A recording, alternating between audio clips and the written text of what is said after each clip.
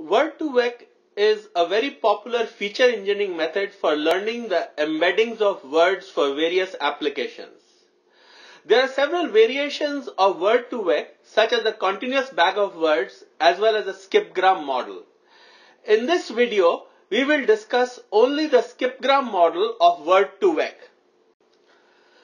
Word2Vec computes the embeddings of words using sequential proximity in sentences. So Word2Vec computes embeddings that are somewhat sensitive to the linguistic structure of the data. So for example, if Paris is closely related to France, then Paris and France must occur together in small windows of sentences. And so their embeddings um, should also be somewhat similar. There are several variations of the Word2Vec model. One of the variations is the continuous bag of words, which uses a context window and predicts the central word from the words which are available in the context window. The second popular model is the skipgram model, which predicts the words in the context window from the central word. So the prediction is the other way around.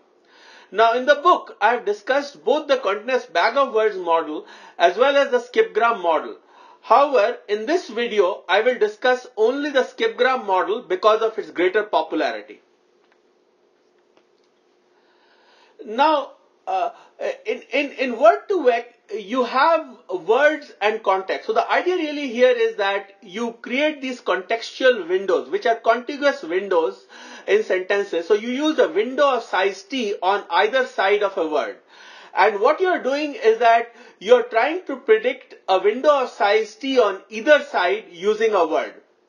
So essentially, if, if, if you index the words in a sentences sequentially by the subscript, then what you're trying to do is that given the ith word, given the word wi, you're trying to predict wi minus t through wi minus 1 on the left side of the word and wi plus 1 uh, through wit given the ith word in the sentence.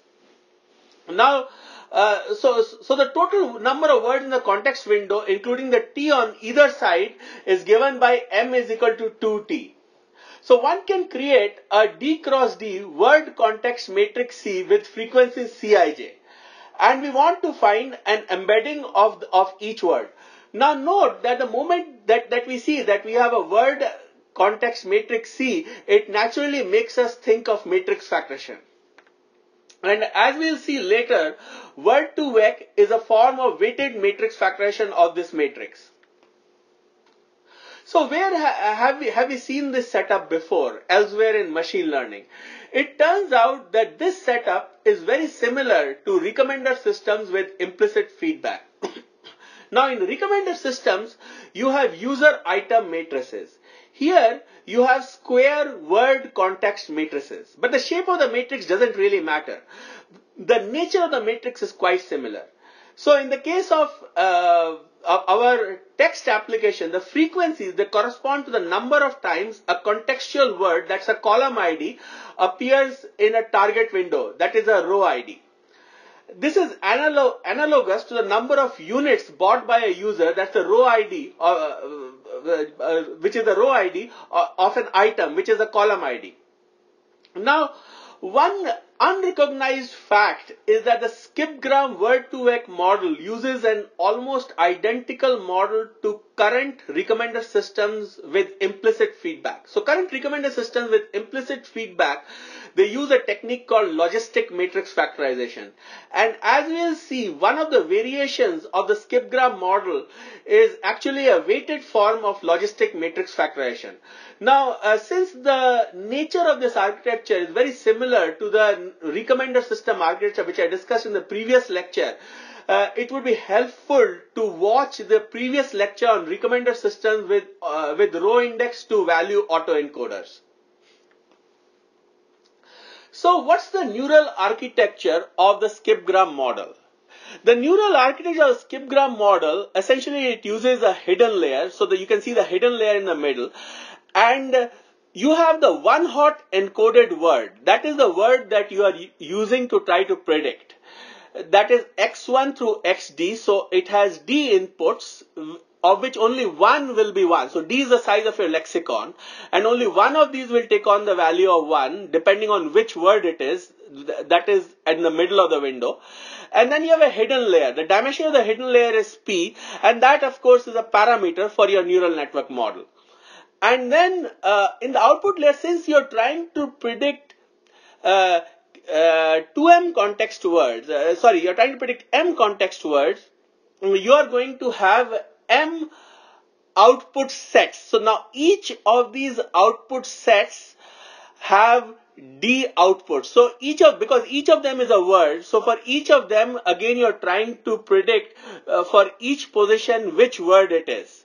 So the output contains m identical softmax probability. Now note that these output weights are shared. So the same matrix V is used in each of these m possibilities.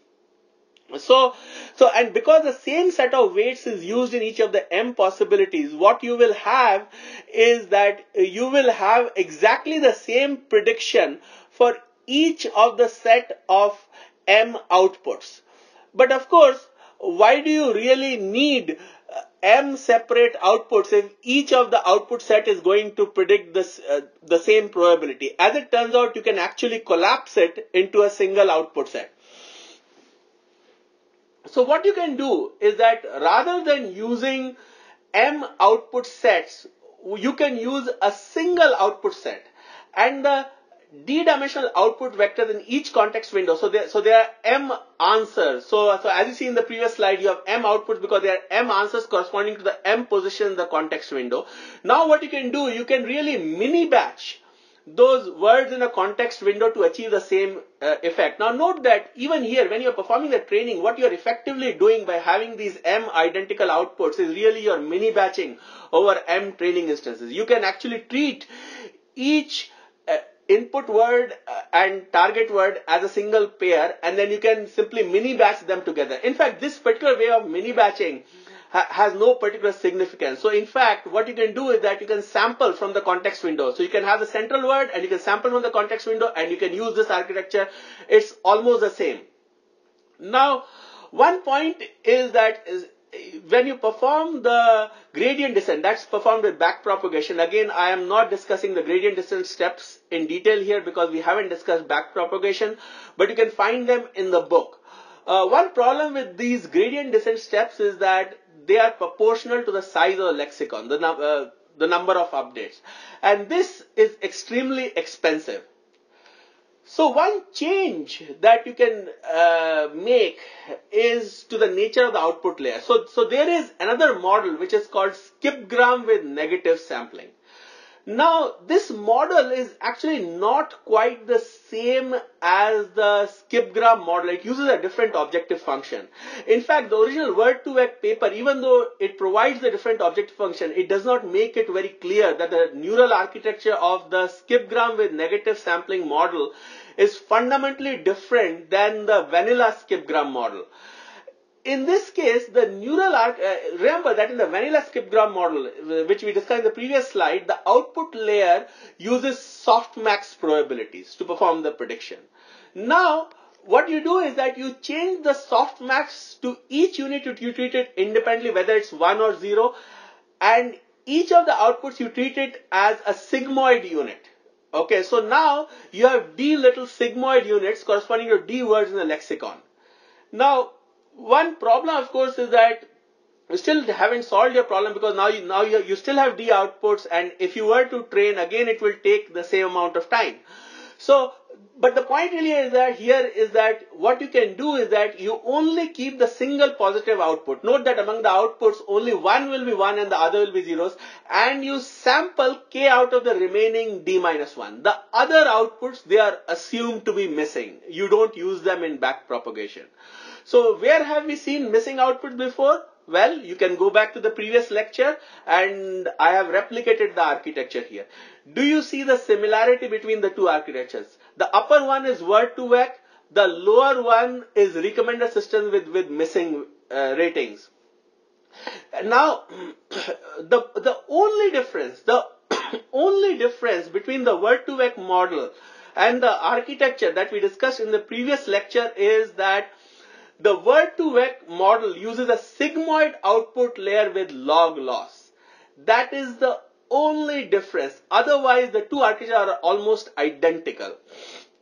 And the nature of this output is uh, uh, the, the reason you have this type of output in word2vec is because your outputs are binary. It makes more sense to have an output layer with logistic loss in that case. Here in the case of ratings, you have ratings which can be anywhere between 1 and 5. So it's fine to use a linear layer. Now, so essentially what this means is that word2vec is nonlinear matrix factorization. In fact, in my book, I show this result for the first time. Uh, now, there is some work here. Levy and Goldberg actually showed an indirect relationship between word2vec, SGN, SGNS, and PPMI matrix factorization. And in the book, we provide a much more direct result. We show that word2vec is a weighted form of directly weighted form of direct logistic matrix factorization. And this is not surprising because of the similarity with the recommender system architecture. The other connection which is very interesting is that when you have recommender systems with binary data, that's implicit feedback data, you actually use logistic matrix factorization a lot. So so the, so the interesting point is that word2vec is closely connected to models that we already know in recommender systems. But neither the word2vec authors uh, nor the community have pointed out this direct connection. Now, uh, this general idea of row index to value autoencoder, this is very useful for any type of matrix to learn embeddings of either rows or columns.